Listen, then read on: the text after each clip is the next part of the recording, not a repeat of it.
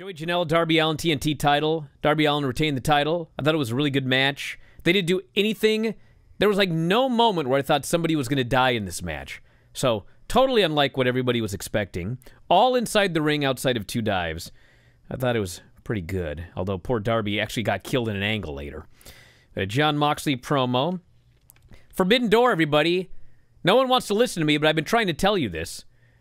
They announced that Moxley is going to defend against Kenta, but not for one second did they tell you where you could watch it. They merely threw out a date. So that's that. We could talk more about that later.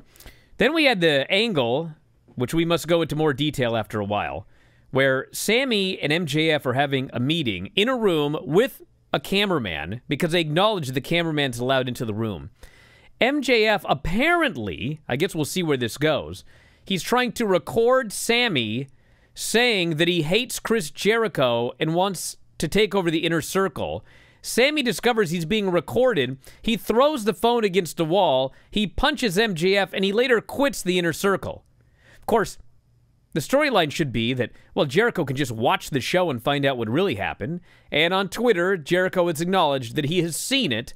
So I guess next week, MJF is going to have to come up with something to explain what was really happening and basically claim that I didn't do anything. I wasn't actually trying to record the guy. He's just paranoid and insane.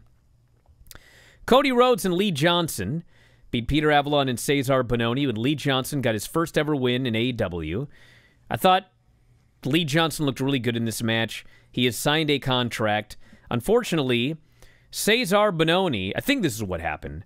I was told that when Cezar gave Cody the overhead SOS slam, I think it's called, Cody landed on the side of his shoulder, suffered a minor rotator cuff tear. It is believed that he will be fine for the match with Shaq, but he did get injured, and I guess we'll follow up on that. Young Bucks did a promo setting up a tag title match for next week. I have no idea what's going on with this story. This is the most nonsensical storyline, maybe that AEW has ever done. Should I go over it now? Try to explain this? Sure. So what happened was they announce that Chris Jericho and MJF want to wrestle for the tag team titles. But everyone else in the inner circle wants to wrestle for the tag titles as well. So Jericho says, "All right, we're going to have a three-way and whoever wins, they will be the inner circle representative for the tag titles." Okay. So they do the three-way and Jericho and MJF win. So now the story is those are the two that are going to be going for the titles. Then they randomly announce that there is now going to be a tag team battle royal where the winners get the Young Bucks at the Revolution pay per view. Okay. Well, then they announce that all of the inner circle teams are in the match. Well, that's weird. Okay.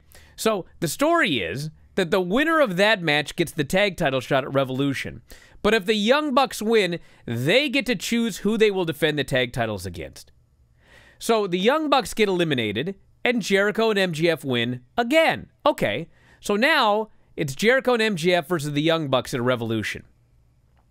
So then on the show last night, the Young Bucks are yelling at the Good Brothers because the Good Brothers eliminated them from the Battle Royal. The story was if the Young Bucks won, they were going to choose to defend the titles against Gallows and Anderson.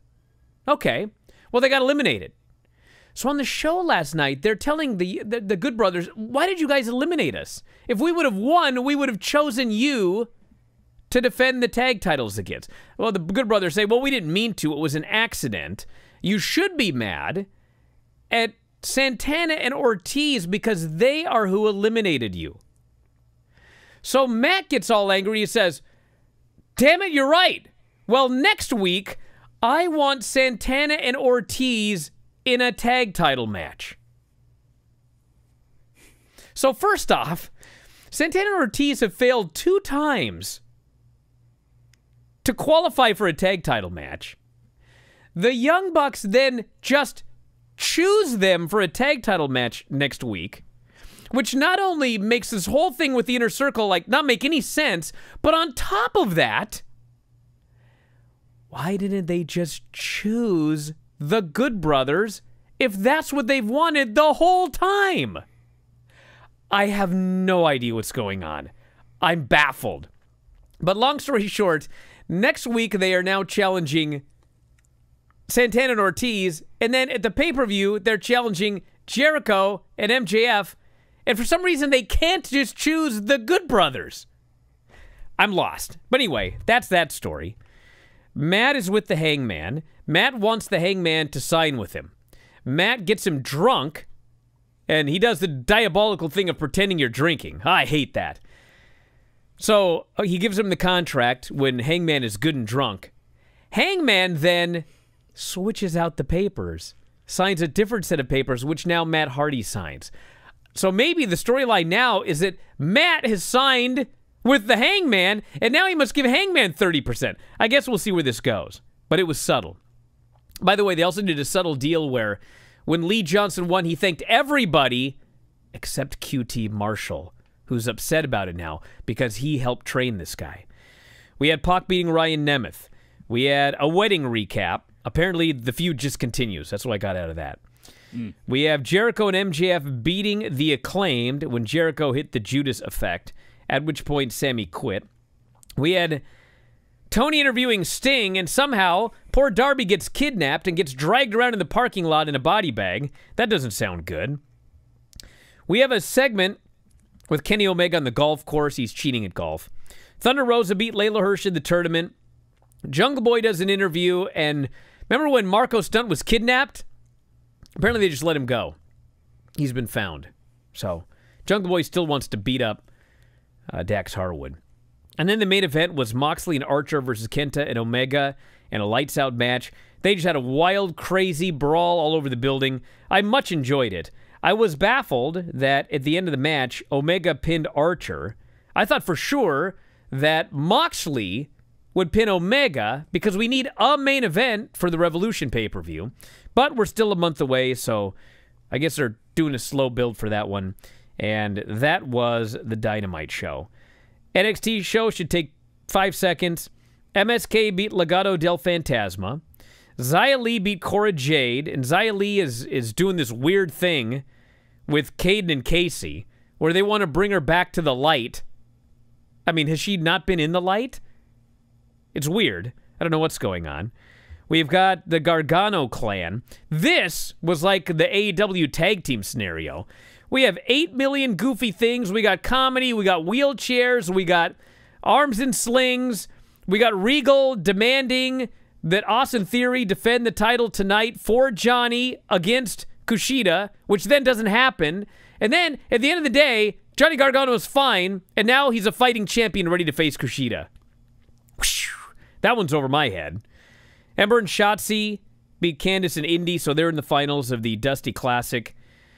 We set up Santos Escobar and uh, Karrion Kross for next week. And Cameron Grimes, this I'll need some time for. Long story short, everybody, in real life, Cameron Grimes bought AMC during the GameStop deal at some ridiculously low price, like $13 and then he sold it for like hundreds of dollars. So legitimately, Cameron Grimes made a ton of money that week. He does not have more money than Elon Musk. He may have more money than anyone in NXT at the moment.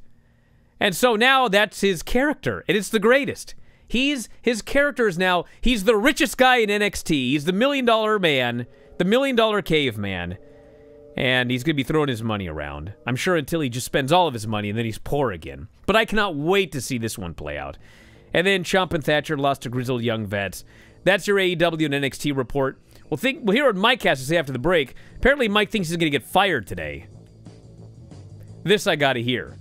Back in a moment, Observer Live. If you're a big fan of these video clips here on YouTube, you're missing out on full-length shows. Down there on the bottom right hand side of the screen, click that join button, and when you sign up, you'll have full access to all of the shows that we've got up on YouTube, over 300 at current count. Wrestling Observer Live, The Bryan and Vinny Show, and Figure 4 Daily with Filthy Tom Lawlor and Lance Storm. Hit the join button, sign up today. You can also click subscribe, and you'll always be alerted as to when new shows and clips are available.